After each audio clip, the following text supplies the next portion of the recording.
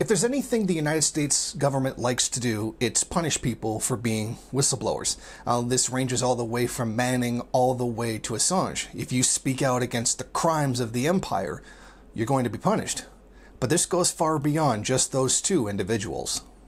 Daniel Hale helped expose one of the many crimes of the Obama administration. He's responsible for helping expose the targeted assassination program, including drone warfare.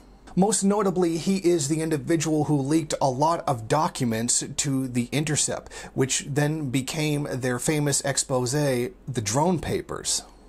He provided the documents to The Intercept co founder Jeremy Scahill and anonymously wrote a chapter in Scahill's book, The Assassination Complex, inside the government's secret drone warfare program. Hale is accused of giving 36 documents to The Intercept, 32 of them not being directly related to his work at the NGA. Essentially, he gave 17 documents to the reporter, of which 11 were marked secret or top secret. Essentially, a special assassination program was created for the Obama administration. The government would secretly use a drone and other measures to kill high priority targets. It was primarily headed by the CIA. What is important is that the US government is carrying out killings without oversight. No indictment, no trial, no conviction. On Wednesday, March 31st, Hale pleaded guilty to one violation of the Espionage Act. And then, a little bit later, on the 23rd of the next month, the judge, Liam O'Grady, accused Hale of violating his bail. And then several days later, he was arrested and put back in jail. His lawyers maintained that there was no violation whatsoever. Hale is being held in the Alexandria Detention Center the place is famous for being the location where Chelsea Manning attempted suicide in 2009 while she was resisting a grand jury investigation against WikiLeaks. It's also where WikiLeaks founder Julian Assange would be jailed if he was extradited to the US for trial. Now, as I said, he has been rejailed on the accusation that he violated his bail conditions. However, his lawyers maintain that no such violation actually took place.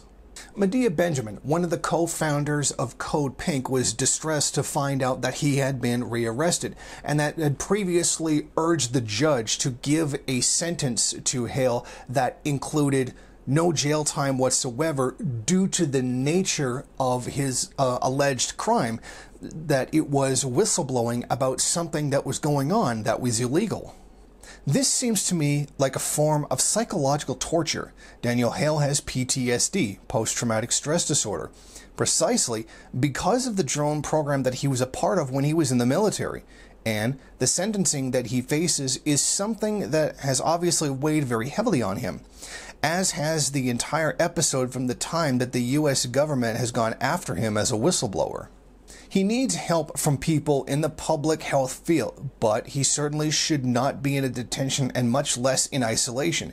He's a sensitive young man who cares about people's lives, and that's why he revealed the information about U.S. drone killings.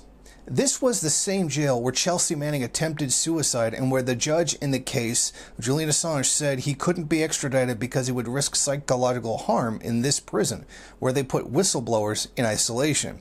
Now, to put Daniel Hale, who was already suffering mentally in this same situation, is cruel and inhumane. Now, with regards to this program, Hale does know what he was talking about because it was his job to find the targets and then essentially have them assassinated. What bothered him so much about this program was the fact that so often innocent civilians were killed. Now, it's not only that they were killed, but then the powers that be would turn around and find justifications for the killings of those innocent people in order to avoid any kind of legality. In other words, in the most cold blooded expression, the government, the US military, was looking for excuses, justifications, lies in order to murder innocent people because they couldn't find the actual target that they were looking for and to avoid responsibility for their actions.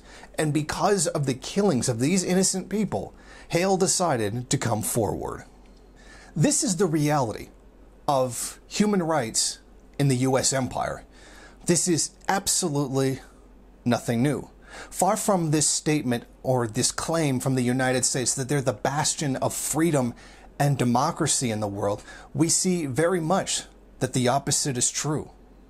We see human rights abuses left and right, not just around the world with the millions, tens of millions of people who've been killed for U.S. profits, but even in the United States at home.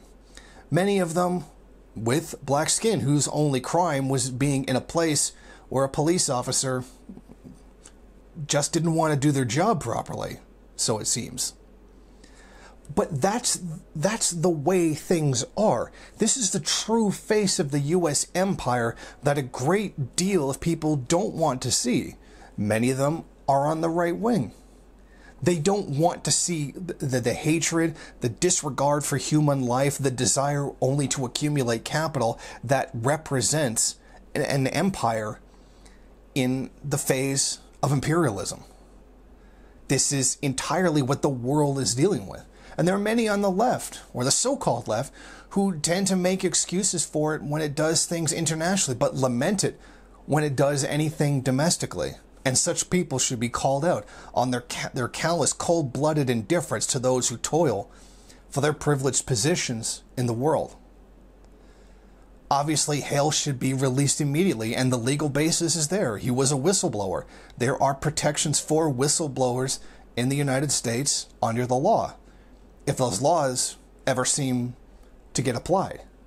But this is the way things are, and the United States needs to wake up to what it is that its system does and finally do something about it once and for all. Hale, like Manning, like Assange, should go free. Now, Manning is already free, but you know what I mean. Whistleblowers in general should be compensated for what they've lost as a result of doing the right thing and blowing the whistle on the crimes of the U.S. empire. Thank you for watching. If you like this program, then please head over to my Patreon page and set up a monthly donation. It's your donations that keep this program running. Also, if you would like, please rate, comment, subscribe, and share in various social media.